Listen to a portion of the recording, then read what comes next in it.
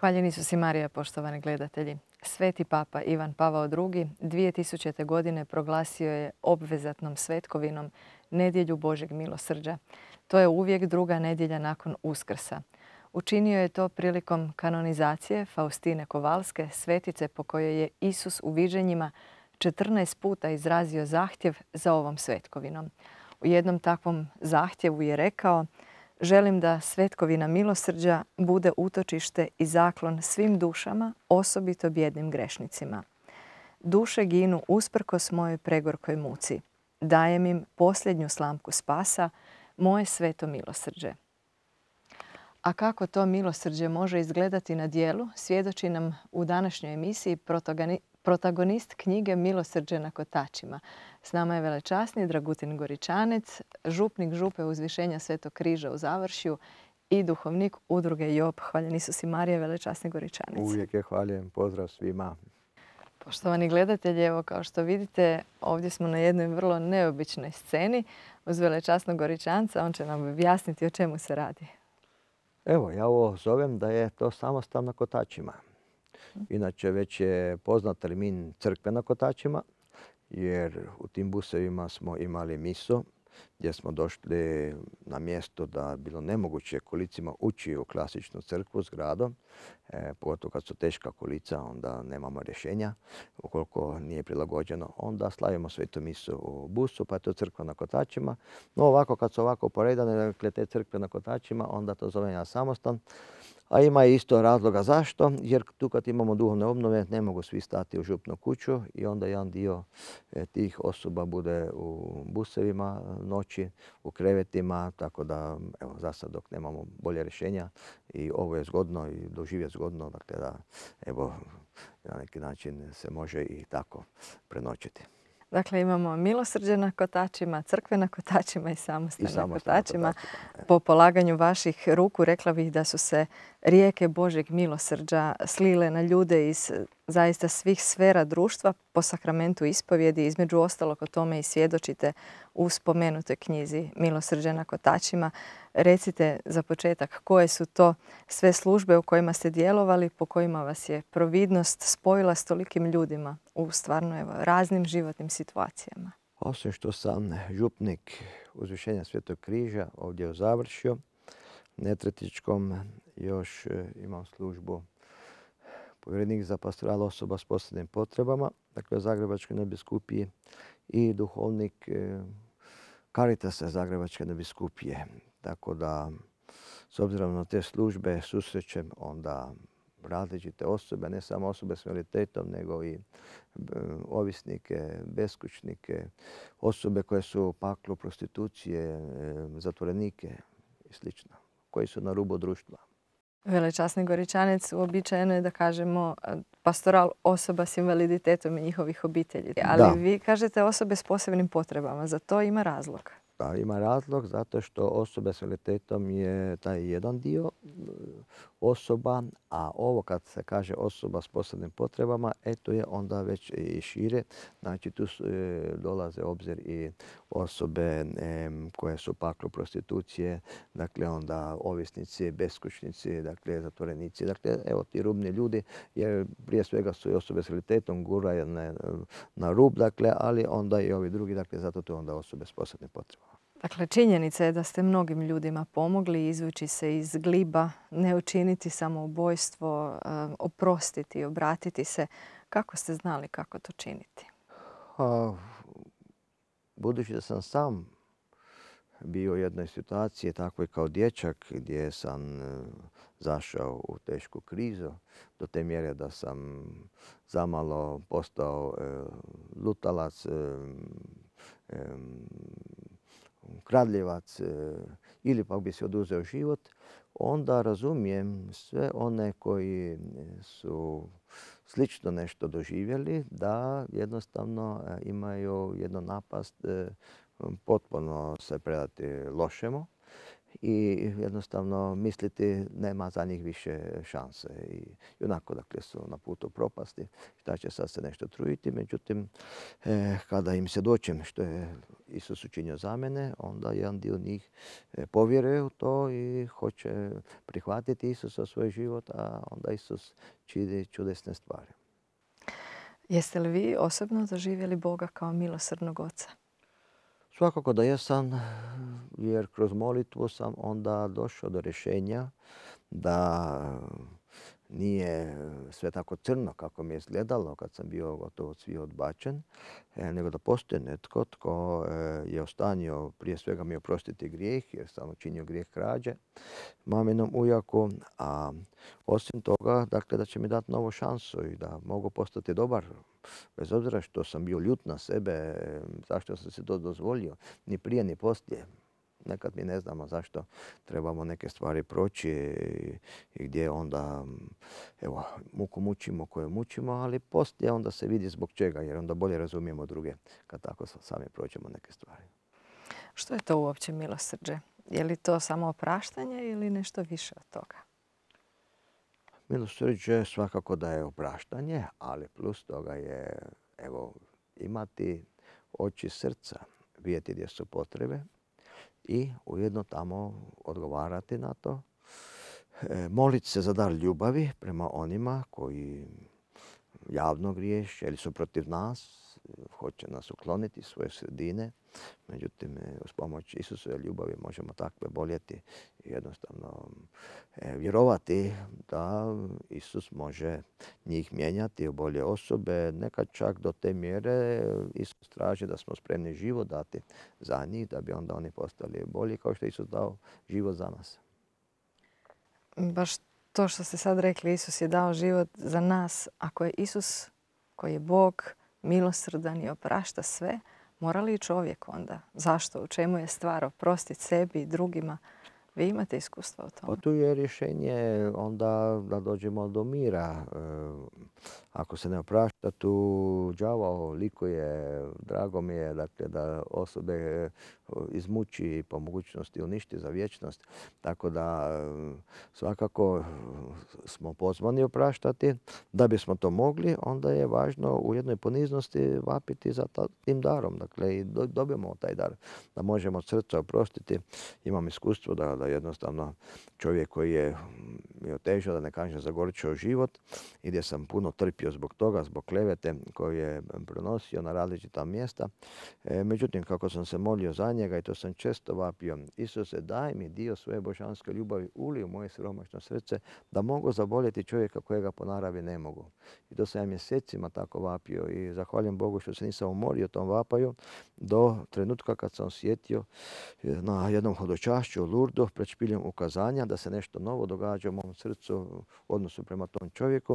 A onda kad je bilo oklanjanje e, pred presvetim, onda sam takav izljev ljubavi primio od Isusa da mi je taj čovjek bio pokraj mene, ja bih ga zagrlio kao najboljeg prijatelja, dan danas me to drži. Dakle, jednostavno to je nešto lijepo, prekrasno i evo, žao mi je ljudi ako ili to ne znaju ili uopće ne žele to moliti za tu ljubav jer je to jednostavno, tada smo sebi slobodni i imamo radost života i više nas ne opterećuje ono što god je nam neko učinio loše. Znači to možemo reći da i i dar na neki način od gospodina. Dar svakako, svakako da mi dobre stvari šta mi možemo svojom snagom, ništa, niko i ništa. Naši su grijesi, moji su grijesi, dakle samo.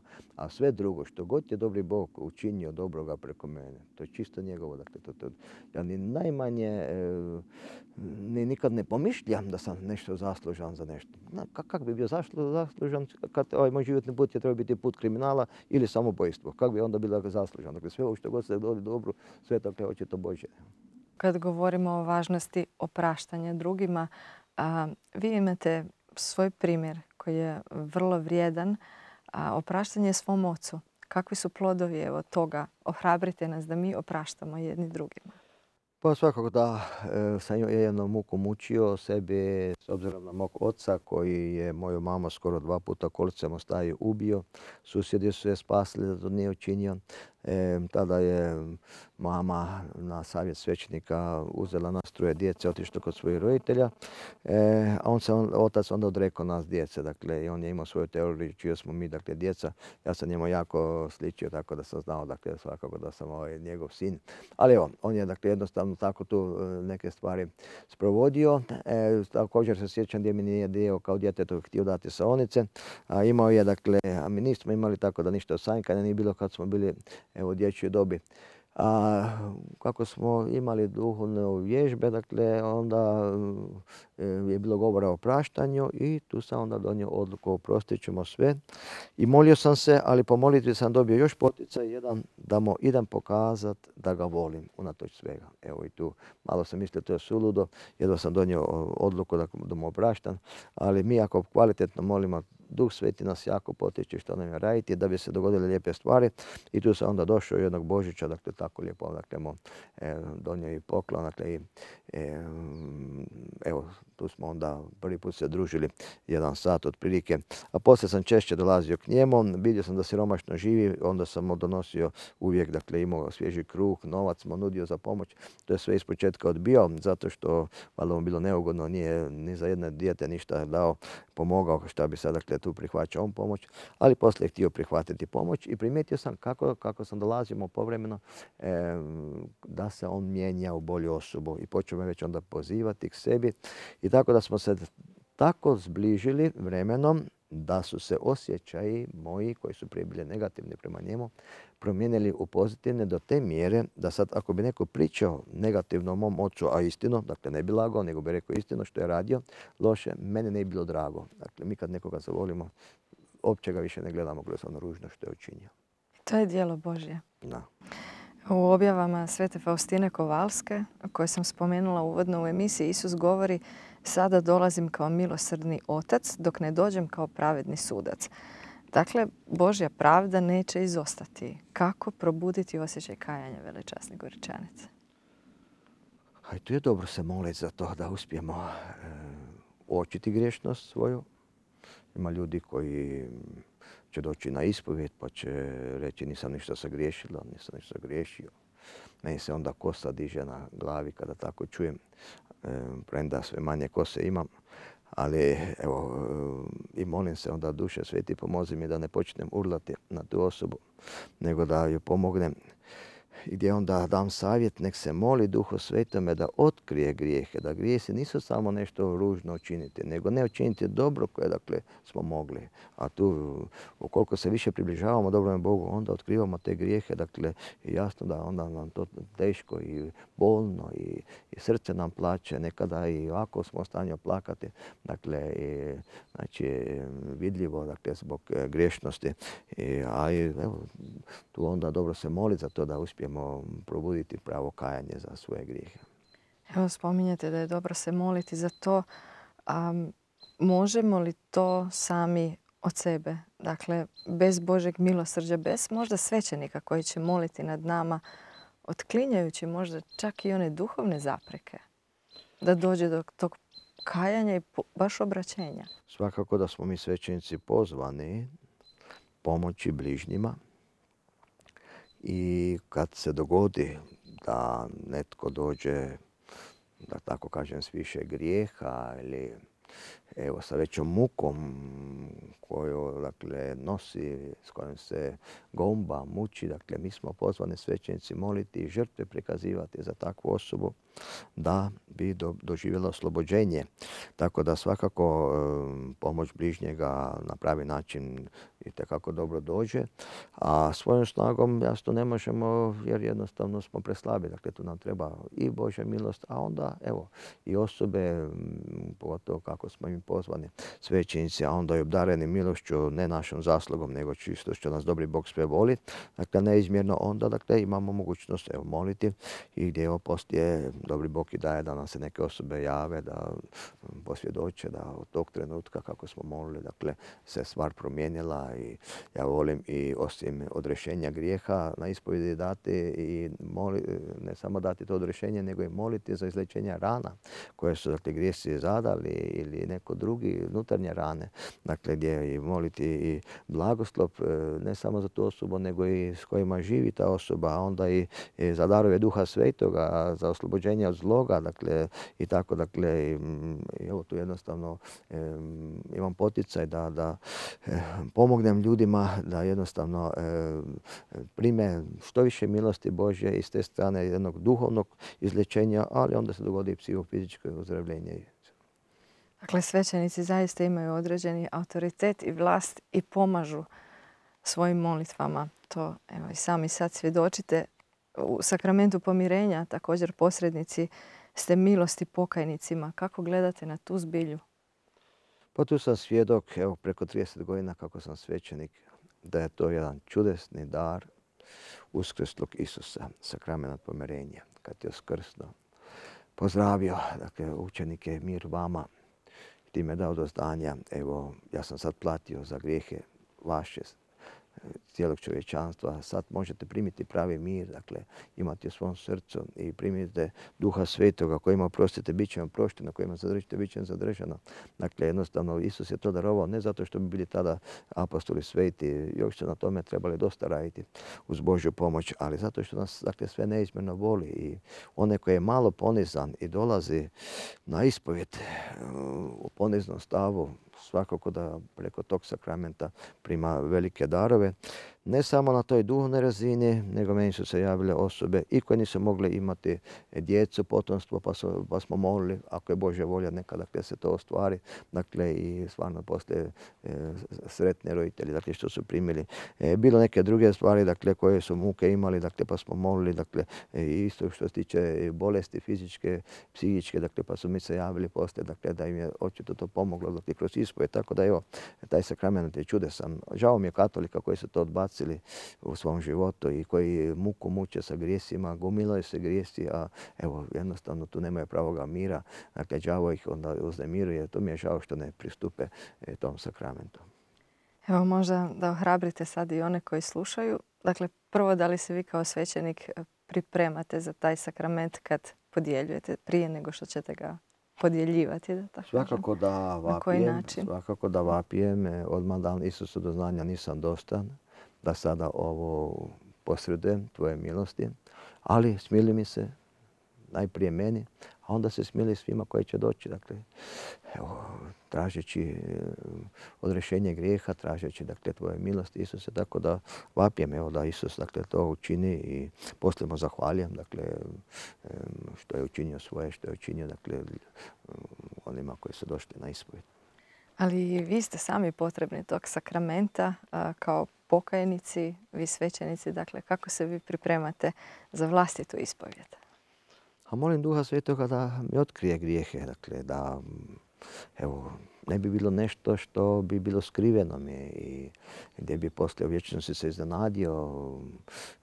Molim da ne bi bio zablodi, da imamo iznače u crkvi ili drugi, dakle, više puta molitvu da ne bismo bili kao crkva u zablodi, dakle, mislili da dobro je to u redu, ispravno, a poslije bi se iznenadili u vječnosti. Tako da, evo, jednostavno se molim i zahvalim Isusu što evo imamo znači, mogućnost mi svećenici dakle, ići na ispovijed. Sjećam se kad sam bio u Njemačkoj radio kao student pa sam išao moliti svećenika da me ispovijedi. On je bio vidno iznenađen jer ga već dugo nije niko molio za ispovijed.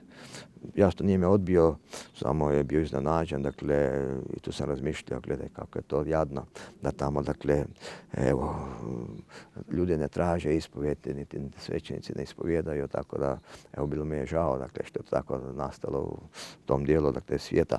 Ali evo, i sigurno drugi, nažalost, isto to postoje negdje, a hvala Bogu, evo, kod nas mi imamo tu još uvijek e, e, taj dar da i ljudi traže ispovjed, a da mi posredujemo i na različite načine i evo, imamo situacije gdje na servisima kad dođem s busom, dakle jednostavno e, nastojim se približiti osobama, e, oni vide, dakle svećenik sam, e, imaju muku, dugo se nisu već ispovjedali, ne znam kako bi sad to dakle, uopće učinili taj korak, ali onda malo pomalo, dakle, izbližimo se i kad vidim da, da imaju volje, odmah u jednu prostoriju idemo odmah učiniti prvo ispovjed nakon dugo vremena, a poslije onda, hvala Bogu, uspio dalje ići u crkvu.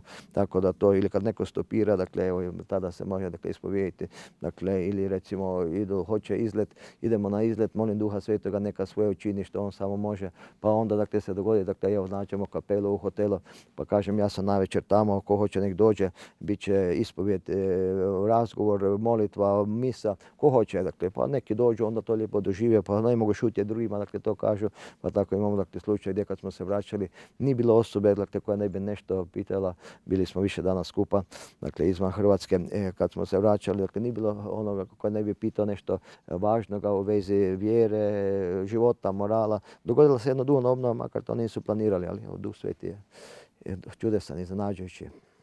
Duh Sveti i Boži milosrđe. Evo sad kad spominjemo taj sakrament e, sveta, svete ispovjedi, sveta Faustina u svom dnevniku piše da Isus govori želim da svetkovina milosrđa bude utočište i zaklon svim dušama, osobito bijednim grešnicima. Tog su dana otvorene nutrine mojeg milosrđa ja izljevam čitavo more milosti na duše koje se približavaju izvoru mojeg milosrđa. Duša koja pristupi ispovjedi i svetoj pričesti zadobit će potpuni oprost grijeha i kazni taj potpuni oprost veličasni Goričanec na nedjelju Božeg milosrđa nam je zapravo veliki dar. Svakako da je veliki dar i dobro ga je prihvatiti i jasno znati što je to da Dakle, mi inače dobijemo oprost kad god i pravo se kajemo i evo smo na ispovjedi. E, međutim, ovaj potpuni, znači e, mi radi pravde Božje bi onda još trpjeli e, dakle, te vremenite kazne. Međutim, tada se i oni dakle, nam brišu i tako da je dobro to prihvatiti. To je evo jedan Božji dar, dan zajednici crkvi iz te riznice duhovnog blaga. Crkva to dijeli, dakle, i evo posebno Isus je i to potvrdi potvrdio, dakle, kako je tako rekao i e, Sveti Faustini, tako da je dobro to prihvatiti u poniznosti i, i s vjerom. Pobožnost milosrnom Isusu, kako nas je poučila Sveta Faustina, obuhvaća i zaziv Isuse, uzdam se u tebe. Je li to zaziv koji je i kod vas u životu prisutan? Svakako da je prisutan e, kako evo i na vozilima, nekim izvana, neki dakle nutra, ali još više u mom vapaju možda najmnogobrojnija molitva i vapa je baš taj, dakle, Isuse, ja se uzdam u tebe, ili Isuse, ja se smili se meni, smili se nama, dakle, jer jednostavno znam da nam treba Isusovo smilovanje i, i onda to poznanje od njega i tako da to e, se dogodi da masu puta u jednom danu, dakle, to vapijem. Evo i za kraj još mi preostaje da vas pitam koja bi bila vaša poruka uz nedjelju Božeg milosrđa ili što biste vi rekli da nam e, milosrdni Isus poručuje u ovim našim danima? Pa svakako da s jedne strane nam poručuje da ga se ne bojimo, da dođemo k njemu bez obzira što nam se dogodi u životu. neki su takvog razmišljanja i kažu to mi sam Bog ne može oprostiti. Dakle, tu onda ne pokušavaju uopće ga moliti za oproštenje, niti doći k svećeniku. Dakle, ali to ne postoji. Isus nam jasno poručuje, ne postoji grijeh koji bi se mogao dogoditi, a da ne bi on onome koji to hoće iskreno vapije, e, dakle, za oproštenjem i odlučio s Božju pomoć ne više to raditi, da mu ne bi dakle oprostio, tako da to ne postoji. Dakle, s jedne strane to prihvati, s druge strane e, dati se Isusu na raspolaganje za učiniti što više dobra i biti u stanju što više pretrpjeti za Božju stvar. Tako da tu imamo primjer svetog Pavla koji je išao krivom smjerom, dakle krivim putem, onda doživio posebno milost od Isusa, a onda se dao na posao na način da počinje svjedočiti za njega i da ga njegov poruku donese na masu mjesta i bio spreman puno toga pretrpjeti, bićevanja i svašta, dakle, dakle izdržati jer je znao a da mi se nije Isus smilovao, ja bi propao za vječnost, ovako sad sam dužnik njegov, pa dobro. Smijem me onda i tući, dakle smijem ja dakle, ovaj, nešto dobiti dakle, bolnoga, dakle izdržat ću pomoć Isusa. Velečasni Goričanic, od srca vam hvala na izvojenom vremenu. Hvala vama. Hvala i vama, poštovani gledatelji. Budite ponovno s nama u emisiji Vjera i nada za tjedan dana. Doviđenja.